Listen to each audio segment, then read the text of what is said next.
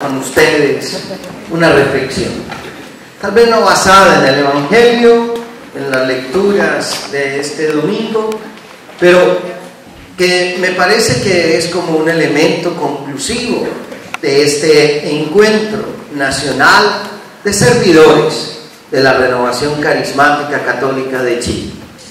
Y me han pedido que diga una palabra sobre los grupos de oración, que son como el elemento de batalla de la renovación carismática, y cómo hacer para que en los grupos de oración la gente permanezca, crezca y dé fruto.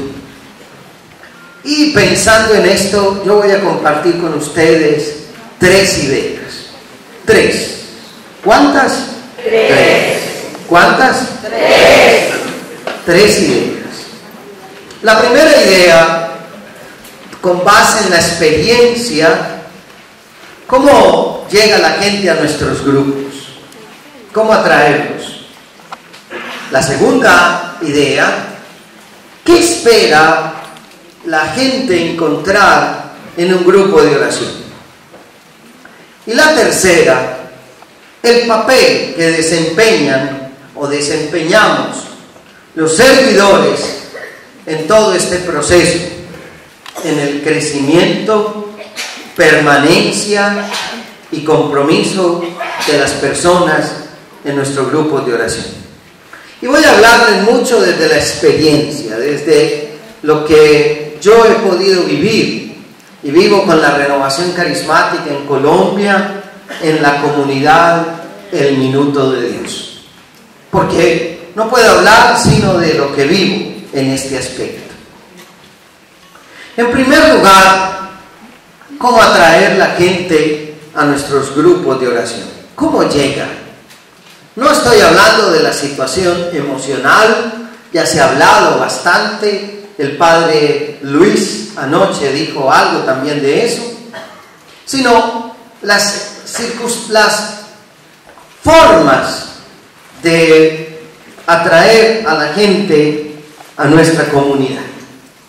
Yo diría que en este primer punto hay como otros tres niveles que están muy eh, palpables en el Evangelio.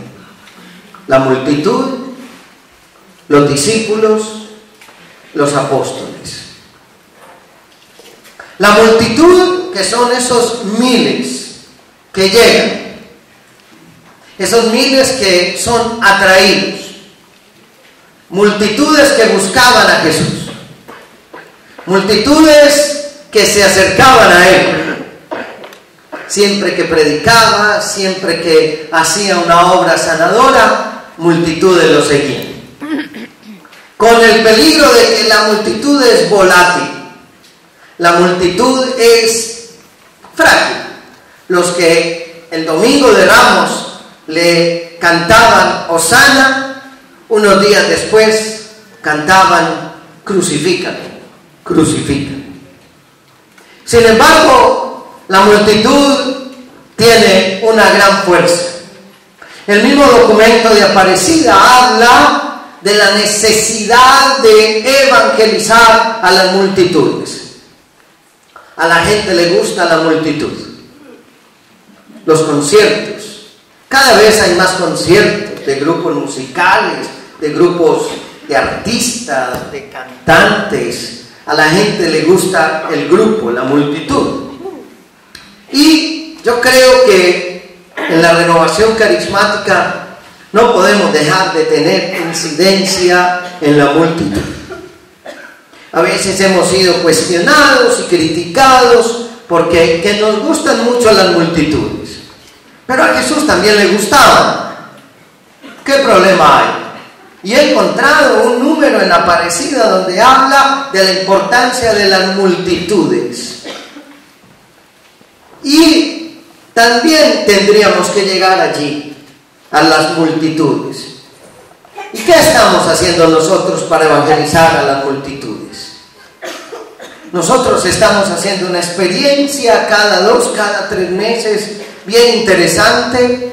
Hemos creado unos 10 equipos donde en ese equipo combinamos jóvenes y adultos, y en ese equipo hay algunas veces un sacerdote, y hay ministerio de intercesión, ministerio de música, predicación, instrumentos, sonidos, y llegamos a un parque. Y lo hemos hecho así porque en mi país cada vez se ha vuelto más difícil evangelizar en lugares públicos. Hay que pedir permiso a la policía, hay que llevar Cruz Roja, hay que llevar ambulancia, hay que llevar paramédicos y es una cosa complicada. Pero hacemos una evangelización de una hora y nos vamos antes de que llegue la policía. Y en esa evangelización llegamos los 10 equipos a lugares públicos, parques. Y llegamos a un parque, nos instalamos, ponemos rápidamente, la gente está muy bien entrenada, cada uno que tiene que hacer. Los de la música traen sus instrumentos, traen su amplificación, fácil de ponerla, pequeña, una persona que predique. Y hay una cosa que nos ha dado mucho éxito. Oramos por ti. Y el ministerio y unas personas del ministerio de intercesión tienen una, una gran valla que dice, quiere que oremos por usted y mientras él está predicando, mientras el ministerio está cantando, hay un grupo de personas orando y la gente se acerca. Tenemos una imagen de la Virgen María, una imagen del corazón de Jesús, la gente tiene claridad que es algo de la Iglesia Católica. Y alrededor hay un, grupo de muchachos generalmente repartiendo unos flyers, unos volantes, diciéndole a la gente, estas son nuestro grupo de oración, está la emisora Minuto de Dios de Medellín, este es, y eso ha sido impactante. Pero la multitud que, que necesita de un querigma, de un anuncio de la pasión, de la muerte, de la resurrección, de la gloria de Jesucristo. Un anuncio querigmático con un testimonio. Y eso no lo podemos perder en la renovación. A veces tenemos como miedo, nos critican. Les gusta mucho evangelizar en la calle, pero ¿quién lo hace?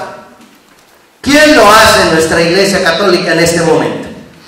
Les dije a ustedes que el Papa Francisco ha estado insistiendo, salgamos de la sacristía. Estamos muy guardados. Pero además de la multitud hay un segundo paso, el paso del discipulado el paso del discipulado.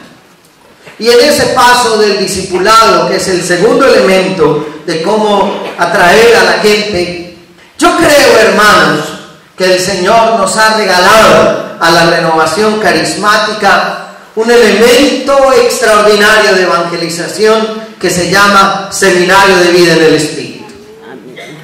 La mayoría de nosotros comenzamos con un seminario de vida en el Espíritu.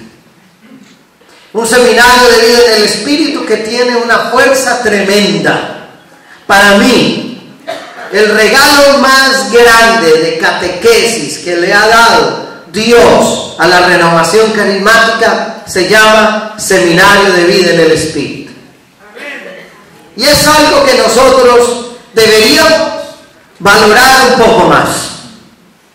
No hemos creado a veces suficientes equipos con poder para hacer los seminarios de vida en el Espíritu.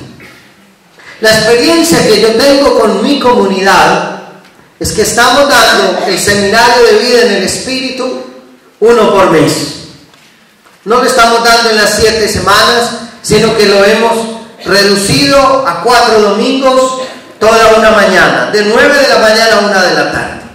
Y hemos creado equipos de segunda generación con predicadores de la primera generación que son los responsables de ese seminario de vida en el Espíritu.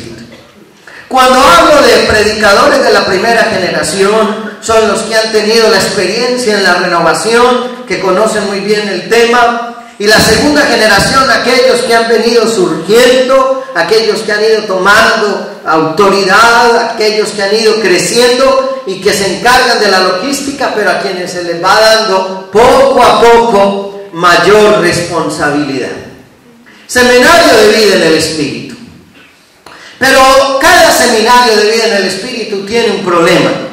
Y es lo que nosotros no hemos sabido sortear en la renovación carismática. ¿Qué hacemos con la gente que hace seminario de vida en el Espíritu? ¿Qué sigue? ¿Qué sigue?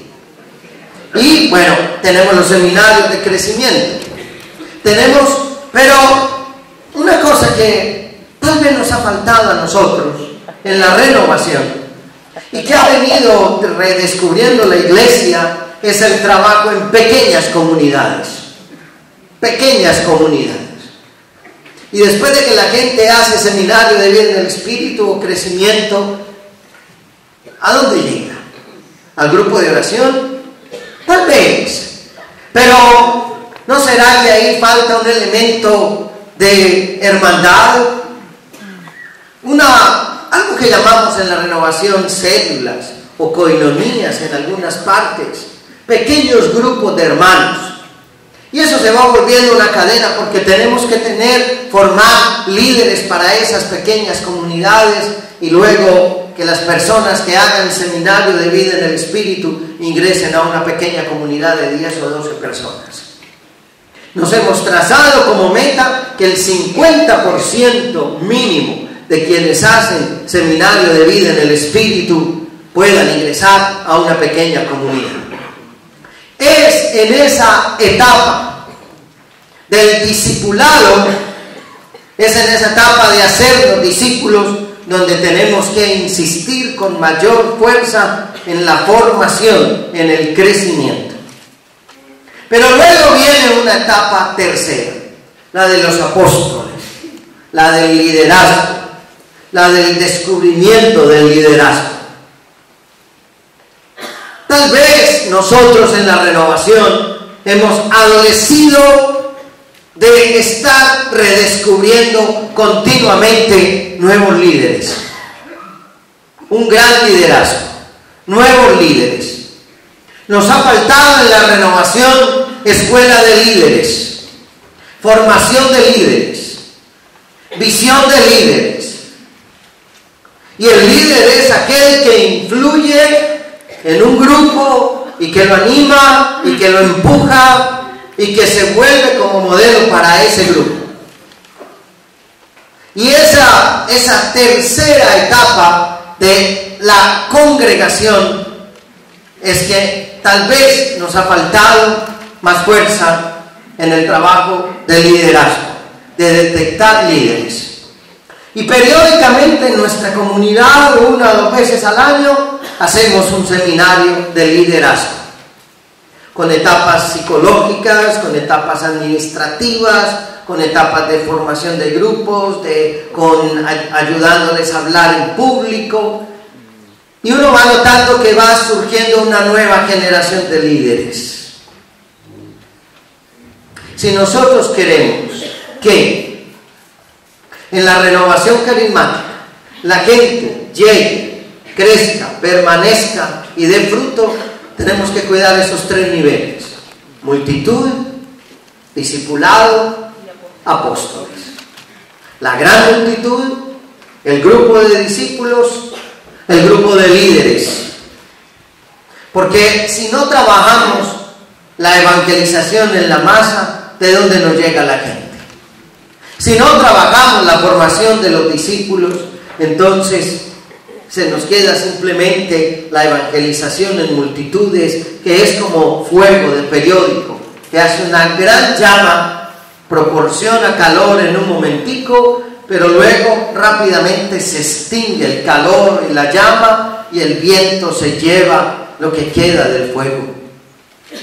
Y eso es lo que nos puede pasar si no trabajamos esos tres elementos. Y ustedes y yo, ¿cómo estamos haciendo todo ese caminar? De evangelizar las multitudes, de evangelizar y de formar a los discípulos y de crear nuevos líderes. Pero hay una segunda idea que quisiera compartir con ustedes rápidamente. Y es ¿Qué espera encontrar la gente en un grupo de oración? ¿Qué espera encontrar la gente en una comunidad de oración? Y quiero recordarles a ustedes el libro de los Hechos Apostólicos, capítulo 2, versículo 42, que ustedes se lo saben de memoria. Dice que los hermanos se reunían para orar, para poner en común lo que tenían, para la enseñanza de los apóstoles y para partir el pan. Esas cuatro cosas yo creo que quiere encontrar una persona en un grupo de oración. Quiere encontrar un grupo de hermanos con los cuales quiera orar. Orar. Y quiero insistirles en la oración de alabanza. Hemos vuelto nuestro grupo de oración con una insistencia tan marcada en la súplica, en la sanación. Eso está bien. Está bien. Pero yo creo que lo que nos ha dado más fuerza e identidad en la renovación carismática es la alabanza. La fuerza de la alabanza. El poder de la alabanza. Recuerdo que una vez nosotros en el minuto de Dios estábamos haciendo muchos encuentros de sanación y eso eran multitudes. Y en el equipo dijimos, frenemos un poco tanto encuentro de sanación, porque ahora para que todo se llene hay que ponerle la palabra sanación. Encuentro de evangelización y sanación. Congreso de liderazgo y sanación. Conferencia de prosperidad y sanación. Rosario de sanación. Yo les decía a los que compartían, ¿por qué tienen que poner rosario de sanación? Yo rezo el que la iglesia me enseñó desde pequeño. Punto. ¿Para qué tenemos que inventarle a todo rosario de sanación, liberación y prosperidad. ¿Por qué nosotros queremos inventar todo desde nuestra óptica? No nos sirve lo que la iglesia en su espiritualidad y en su sabiduría ha cosechado y en su riqueza espiritual. Y entonces dijimos, hagamos un congreso de alabanza solo de alabanza. Y empezamos a poner la publicidad en la emisora. Congreso de alabanza, congreso de alabanza. En esos días, un joven colombiano que hacía parte del ejército en un enfrentamiento con la guerrilla había recibido un balazo cerca de la columna. Y estaba en el hospital militar este muchacho. Y estando allí, le habían dicho los médicos, no vas a poder volver a caminar. Jamás. Pero al hospital llegaron unas servidoras de la renovación y le dijeron, sintoniza la emisora Minuto de Dios. Pon la emisora Minuto de Dios. Y el soldado, cuando las señoras se fueron en la noche, puso la emisora. Y escuchó que había un congreso de sanación. A los tres o cuatro días llegaron de nuevo las señoras y él les dijo, yo quiero ir a ese congreso de alabanza. Quiero ir. Y ella le dijeron, no muchacho, tú no puedes ir. ¿Y por qué no puedo ir? Porque es uno de alabanza. Tú tienes que ir a uno de sanación. Necesitas es ir a uno de sanación. Pues el muchacho les insistió tanto que quiero ir, que no, que quiero ir, que no. Hasta que, listo, accedieron y le dijeron, bueno, te vamos a llevar al Congreso. Yo recuerdo cuando estábamos en la oración, era un coliseo, siete mil personas, y recuerdo cuando entró el muchacho, lo pusieron al frente de la tarima y el muchacho estaba ya en la silla de ruedas. Y estábamos en alabanza, en alabanza, ponga la mano sobre la persona que está a su lado y alabe y alabe. Y empezamos la alabanza en lenguas, en cánticos, en danza. Salía el ministerio de danza por todo el coliseo, levantando la alabanza. Y en ese momento el muchacho comenzó a sentir, como contaba él después, como un hormigueo en las piernas y como con deseo de pararse. Y él estaba en su silla de ruedas ahí y una hermanita del Ministerio de Intercesión le ponía la mano en su hombro derecho y otra hermanita de intercesión le ponía su hombro en la mano izquierda y él comenzaba a tratar de ponerse en pie. Pero las hermanitas de intercesión decían, tú no te vas a parar porque este no es un congreso de sanación, este es un congreso de alabanza. Y el muchacho quererse parar y las hermanas nada y él a levantarse y ella también a la silla hasta que ellas entendieron que el Señor lo estaba sanando porque él les dijo hermanitas el Señor y ustedes quieren aplastar hasta que él ella le quitaron las intercesoras le quitaron sus manos poderosas que lo ataban a la silla de ruedas y el muchacho se puso en pie y levantó su silla de ruedas. Yo jamás olvidaré, yo estaba dirigiendo la alabanza, yo jamás olvidaré el muchacho levantando su silla de ruedas y venía caminando. Y eso, bueno, se volvió una cosa tremenda. Nadie estaba orando por sanación, pero estábamos en alabanza, porque ustedes y yo hemos cantado que cuando el pueblo alaba a Dios suceden cosas maravillosas. Hay sanación, hay liberación. Y yo creo, hermanos, que la gente viene a nuestro grupo de oración para orar. Pero creo que también la gente viene a nuestro grupo de oración para la enseñanza. ¿Cómo hacer que la gente permanezca en nuestros grupos? ¿Qué tipo de enseñanza estamos dando? ¿Qué tipo de enseñanza estamos dando? Vea, aquella hermanita está con la boca para arriba, Señor, dale el descanso, váyase con la boca.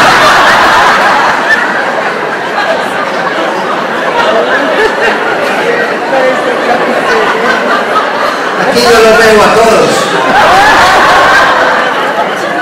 ¿Qué tipo de enseñanza compartimos? ¿Qué tipo de enseñanza damos en nuestros grupos?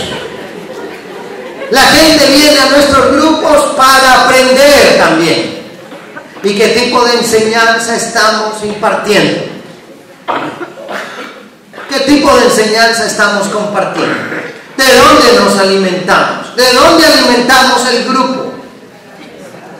Yo no sé a veces por qué en la renovación carismática, perdónenme, es una apreciación muy personal y esto lo digo para ustedes, como le dije ayer en los hermanos que estuve en el taller. Yo digo a los servidores ciertas cosas porque dicen que el agua sucia se lava en casa. Así es la, ropa sucia, se sabe si ponen atención. Se llama técnica de despiste. Cambia uno una palabra. Lo acabo de inventar. Cuando yo voy a un retiro de sacerdote, yo no hablo nada malo de la renovación. Digo, eso allá es un paraíso. no hay una sola dificultad. Pero cuando voy a los retiros de renovación, sacamos la ropa sucia para lavar. Pero yo no sé por qué en la renovación carismática, con todo respeto, la enseñanza que yo veo en algunos grupos es un montón de devociones y devociones y devociones. Cuando la renovación carismática comenzó no había devociones. Había amor a la palabra de Dios. Había amor a los sacramentos. Y ya cambiamos el amor a la palabra de Dios por devociones personales. Que se apareció la Virgen a fulana de tal y vamos a ver, yo le digo un momentico, esa, esa aparición está aprobada por la iglesia. No, está en proceso de aprobación. Entonces no la admite. Así de sencillo. Las revelaciones privadas, dice la iglesia, son privadas. No me obligan a nada. Y yo no sé si a veces en la renovación carismática hemos vuelto la enseñanza una enseñanza para niños.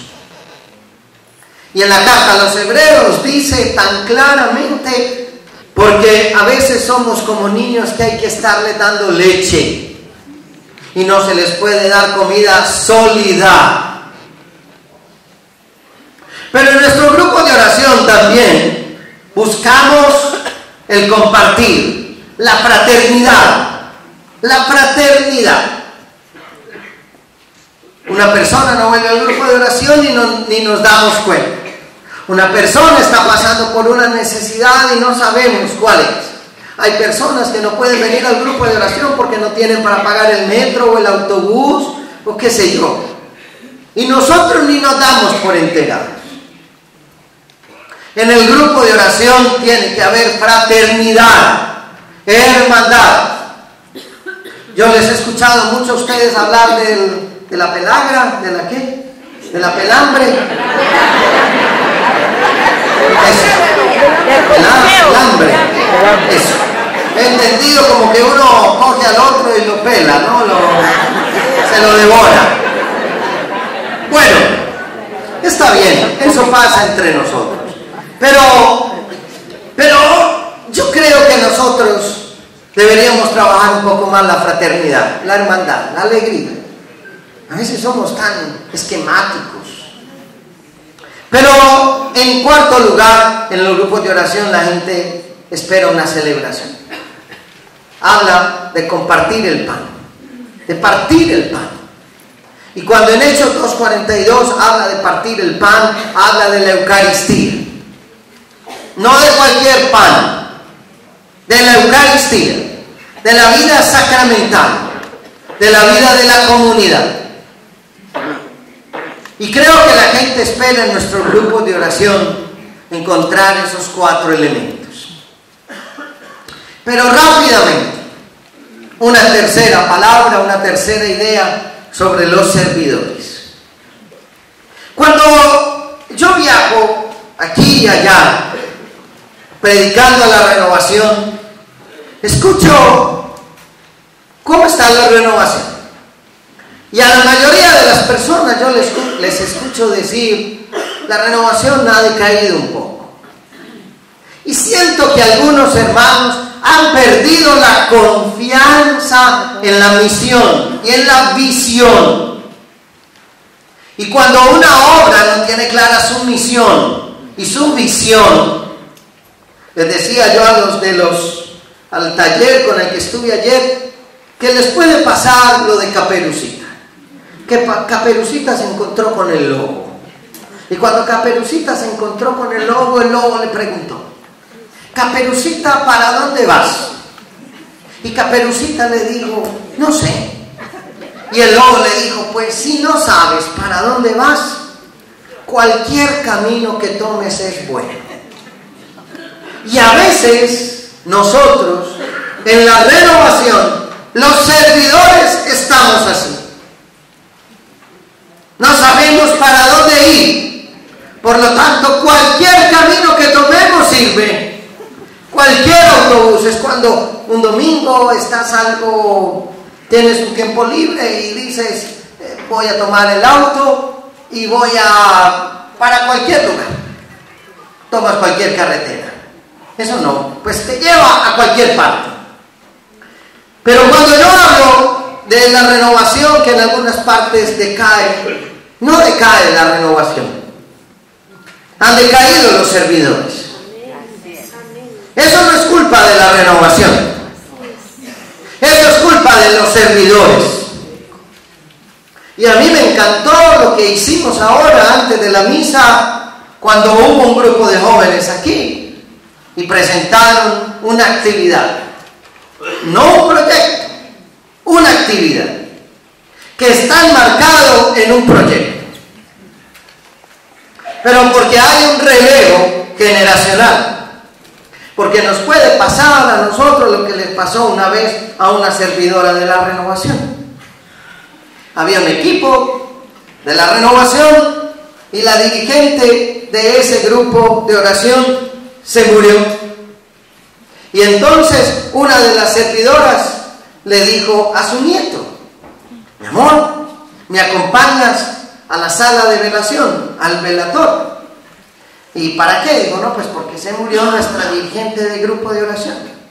¿Me acompañas a la sala de velación, al velatorio? Y el muchachito le dijo a la abuelita, bueno, abuelita, yo te acompaño. Se fueron para la sala de velación, al velatorio. Y ahí estaban velando, estaban en las exequias de la servidora del grupo de oración. Cuando salieron de ahí, el muchachito le dice a la servidora, ay abuelita, en esta, todas las amigas tuyas que eran las servidoras del grupo de oración se parecen a una sala de cine. Eso parecía una sala de cine.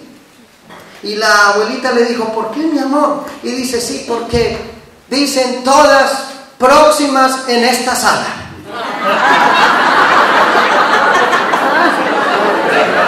El que lo entendió, lo entendió.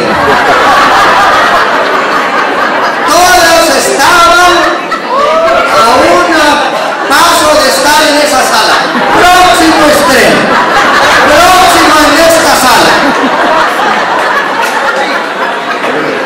Y a veces los servidores somos los que hemos enterrado la renovación por nuestras peleas internas.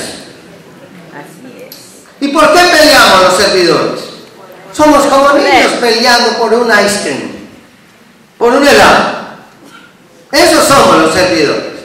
Peleando por un helado. Esos somos los servidores. Peleando por la autoridad. ¿Cuántas divisiones hay en nuestra renovación entre los servidores? Que este no mira a este, que este no habla con este, que este se retiró, que este ya no volvió. Yo no puedo entender. Yo pregunté ahora cuando el hermano eh, dijo, en unos años no seremos servidores. Y yo pregunté, ¿qué quiere decir eso? Y yo no, que en unos años, ya tal vez en un año, como él después dijo, no será el servidor nacional. Pero, porque yo creo que uno jamás deja de ser servidor. Uno ha recibido un encargo de Dios. Y esto jamás me lo podré quitar. Me pueden quitar un cargo, pero no me pueden quitar un estilo de vida. Y el estilo de vida que Dios me dio puede ser servidor. Y yo veo en los servidores mucha preocupación por crear cada uno su propio ministerio. Su propio ministerio de música, su propio ministerio de predicación. Y no le sirven a la renovación. Se sirven de la renovación. Y así mismo. Muchos servidores no le sirven a la renovación. Se sirven de la renovación para sus intereses. Muchas veces intereses de dinero. ¿Cuánto daño ha hecho el dinero a la renovación? Mucho porque, por una razón, hay predicadores que uno lo llama y le dice, ¿por qué no vienes a predicar a mi ciudad? Sí, pero vale tanto la ofrenda. Y yo le digo, no vengas, quédate con tu ministerio. Hay cantantes, ministros de música, que uno lo llama y le dice, ¿por qué no vienes y ministras a mi comunidad? Sí, está bien padre, con mucho cariño, pero la ofrenda está. Le digo, no vengas, no vengas, porque por supuesto que te daremos una ofrenda, pero no te estoy pagando un salario, no es un salario. Y yo aquí quisiera decir a los servidores, en este lugar, que la renovación será lo que nosotros los servidores hagamos de ella. Y si usted dice que la renovación en su ciudad, en su diócesis o en su país ha decaído, lo que usted tiene que decir es, yo he decaído. Yo soy el que he perdido el amor del principio. Yo soy el que he perdido la fuerza inicial. Yo soy. Yo fui asesor nacional de la renovación carismática en Colombia. Fui secretario del Consejo, del Consejo Latinoamericano de la Renovación. Pero después mi congregación me pidió que fuera párroco y que me dedicara después a los medios de comunicación. Y ya no soy ni asesor nacional, ni hago parte del equipo nacional, ni soy secretario del ECLA. Otros han asumido eso, bendito sea Dios.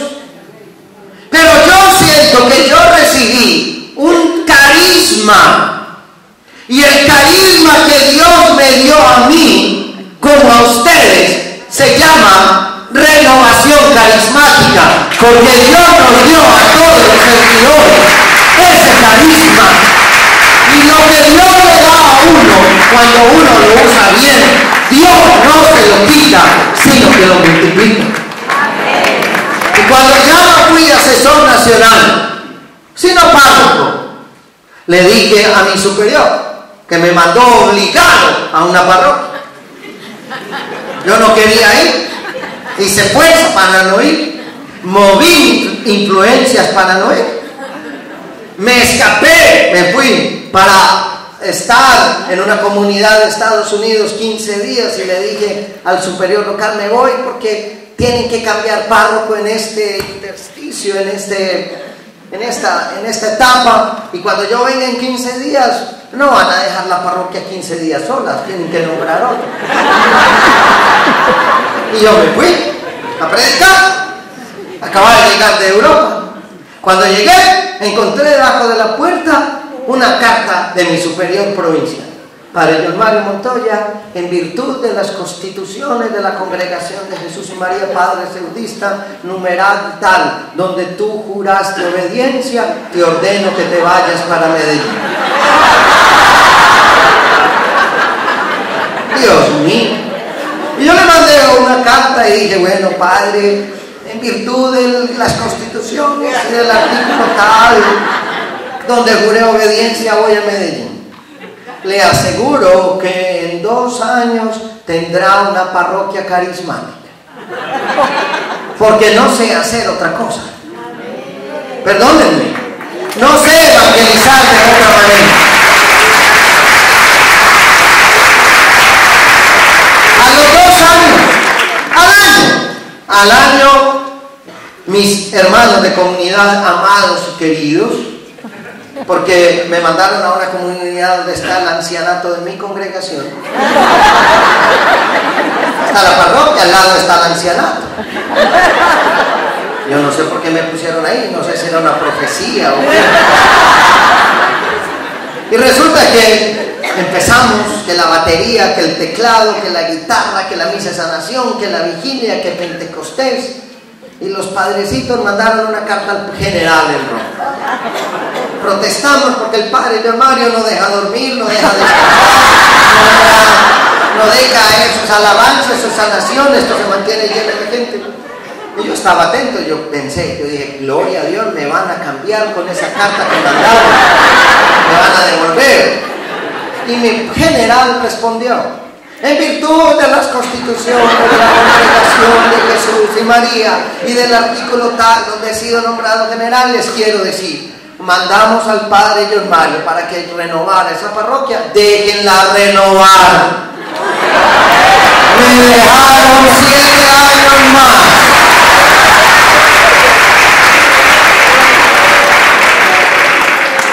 No sé hacer otra cosa.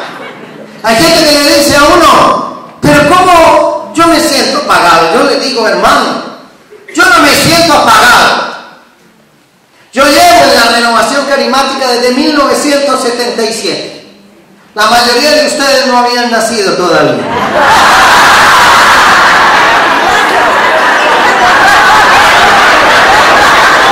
Los padrecitos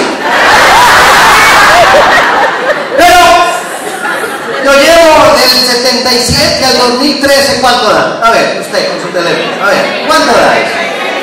36 años. Lleven eso. 36 años. Y yo no siento que el fuego se me acabe, que el entusiasmo se me acabe, que la alegría se me acabe, que el poder se me acabe. Jamás. Eso, mis hermanos, cuando uno está pegado al fuego, pero cuando uno se suelta del fuego, eso se apaga. No he trabajado en lo mismo. Mi comunidad me mandó a Roma a estudiar. Allá me busqué una comunidad carismática con el padre Robert Farich, un gran líder de la renovación. Y entonces iba y estudiaba con los jesuitas que eran bien secos teológicamente.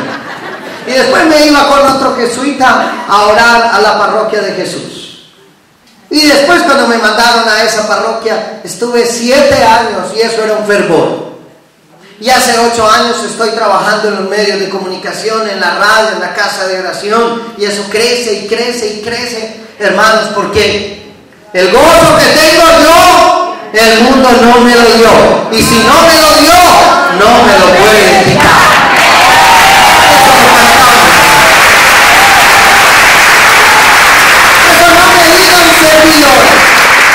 Eso no me digan servidores que porque está de mucha edad, que está cansado, que está viejo.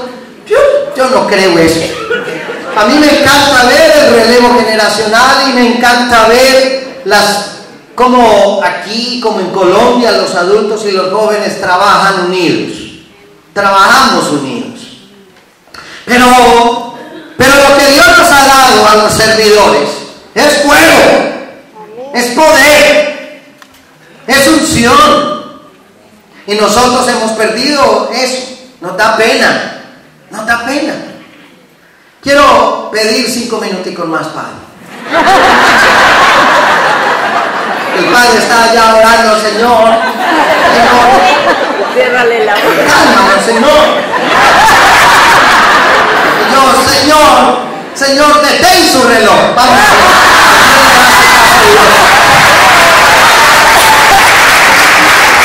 No les conté a ustedes la otra vez y lo voy a volver a contar. Cuando estuvimos en Roma, yo ayudaba al Consejo Internacional de la Renovación, le celebraba misa los viernes y traducía el boletín de la renovación carismática que se editaba en español, lo traducía para el inglés, en, en italiano lo traducía para el inglés y el español. Y resulta que estando ahí hubo una reunión privada de todo el Consejo Latinoamericano y Mundial de la Renovación con el Papa, Juan Pablo II.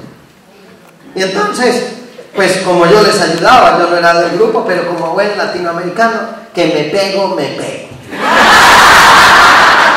Y ahí, pues, yo no era de ese grupo, pero me, pero me pegué. Llegamos, llegamos al Vaticano muy temprano, muy católico, las mujeres de mantilla, los, estaba Pepe Prado, estaba Kevin Ranagan, estaba el padre Camilo eh, el que es provincial de los eudistas, que era representante por América Latina en ese tiempo, bueno, Camilo Bernal, en fin, bueno, los líderes de la renovación de ese momento. Y resulta que eh, nos hacen pasar, y yo veo, por supuesto, nos hacen pasar y estaba ya el Papa Juan Pablo II orando. Entonces, pues los europeos, los americanos, los canadienses estaban hablando así entre ellos y los latinoamericanos éramos todos así. Mirando qué estaba haciendo el Papa. Y estaba orando. Después, cuando nos dicen, bueno, ahora pueden ingresar a la misa con el Papa, ingresamos a la misa con el Papa. El Papa nos habló bien bonito, y al terminar la misa, después de la comunión, el Papa se sentó. Y recuerdo que un diácono norteamericano tomó la guitarra, tomó la guitarra y empezó a cantar Alabaré. Porque hay una cosa de los cantos.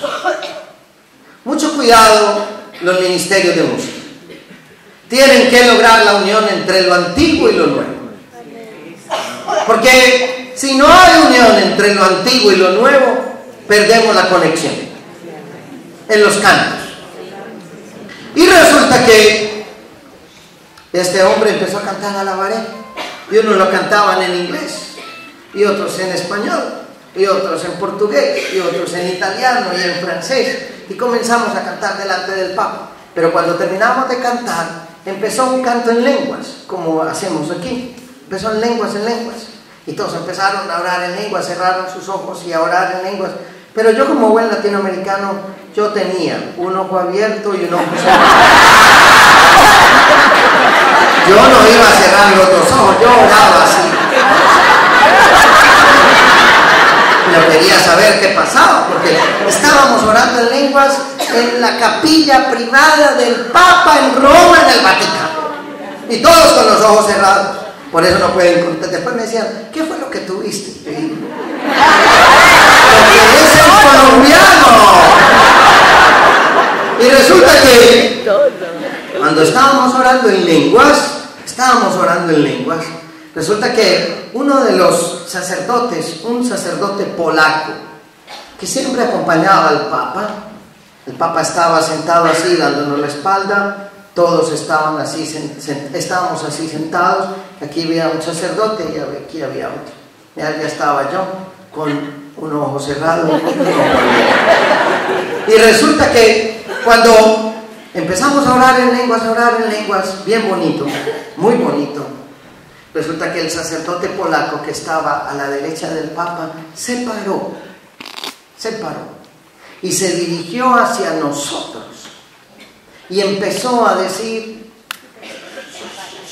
¿se saben lo que significa? Empezó a decir que no oraran en lenguas ahí. Pero, pues como mis hermanos estaban orando en lenguas, no le oían lo que decía el sacerdote. Que ellos creían que estaba orando en lenguas Y no estaba orando. Pero cuando de un momento a otro, de un momento a otro, el Papa Juan Pablo II, que estaba ahí sentadito, levantó la mano y le dijo al sacerdote,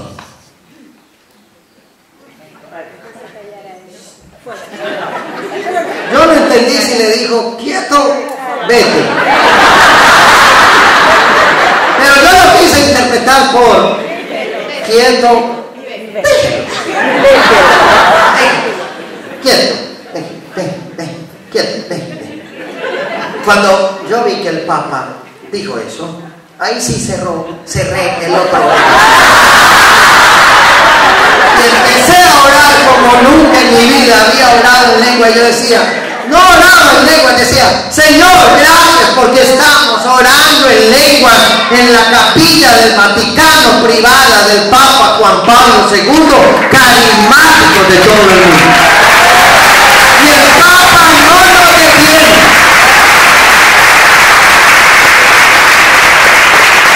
Hermanos servidores, ¿qué quiere encontrar la gente en los servidores? Gente que ame a Dios. Gente que vive por Jesucristo. Gente que ame a sus hermanos. No que los oprima. Gente que sea capaz de encontrar otros líderes. Usted debe ser capaz de producir otro líder. Un líder produce líderes.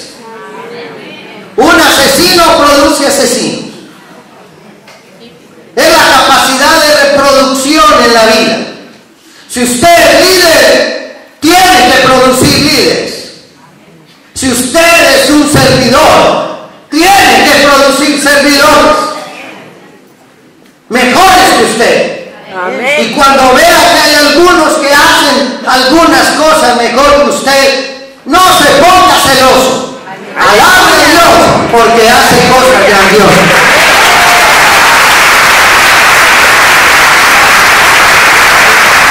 Servidores,